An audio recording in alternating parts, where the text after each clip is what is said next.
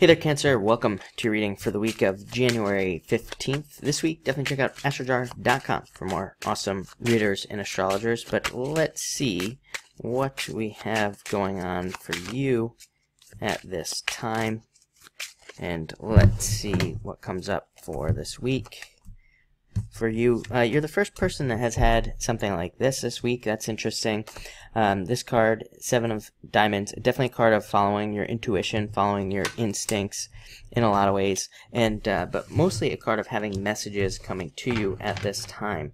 Um, and needing to pay attention to the messages you are receiving. So, you know, as a very intuitive sign, then I think you should definitely do that. Next, you have the Ace of Clubs. Um, yeah, uh, Ace of Clubs is my favorite card in the deck, but um, uh, I don't know what I was going to say, but uh, you know, I, I, feel something different coming from this card this week. I do feel like it has a lot to do with ideas and things that you want to do. For some of you, I feel like it has to do with potentially marriage or getting married in some ways. Uh, you don't really have any, um, you don't really have any other cards of marriage necessarily here. You don't have any like cards that do represent that. You do have the card of soulmates, which is the Eight of Hearts, that can, it can represent a soulmate. Um, but um, I do feel like this has to do with marriage. So maybe some of you are getting married, and this could represent that. Uh, it is a great card of abundance, and um, you know having more abundance coming in at this time. Next, you have the Ten of Spades. Ten of Spades can represent transformation. It's also like I consider this to be almost like the Death card uh, in the tarot, just a card of transforming past obstacles. It can also be a card of travel, and I do feel like some of you could be traveling at this time.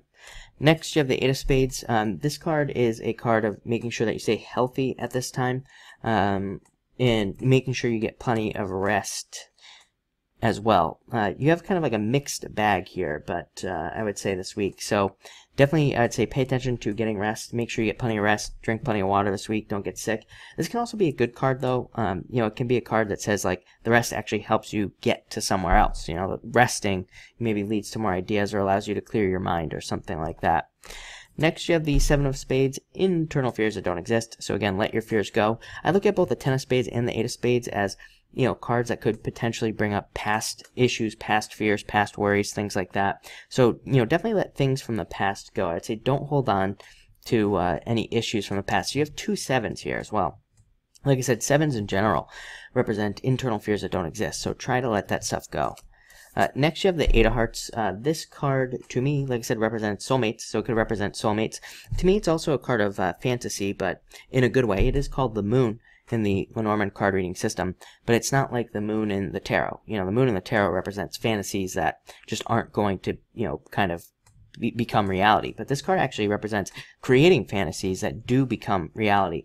Uh, the one thing I will say is that this card does say, and even just looking at some of your other cards here, uh, this card does say that you need to put structure behind, you know, behind these ideas. You need to create that reality. You need to make sure that it happens. This is a card of like taking things step by step as well. Uh, sometimes this card comes up, we have this like huge idea in our head, something we want to accomplish, uh, but this card says like, you know, bring it back to the beginning, and then you know kind of like put the put things in place so that you can actually make it reality. And then finally, you have the two of diamonds matching up with something perfectly financially. Could be a new job, new business, and uh, or it could be a raise. This is a great card for investments, and it could also just be more money coming in at this time. So Looks like an interesting week for you. Like I said, even with those spades cards, I wouldn't worry about those cards. You don't have any cards of necessarily being held back. Like if you had a nine of spades or something like that uh, this week, I would be a little bit more concerned. But you know, it actually looks pretty, uh, pretty good this week in general. I'd say just don't get, you know, don't get too much in your head, uh, if nothing else. Uh, but it looks good. So thank you for watching and enjoy your week.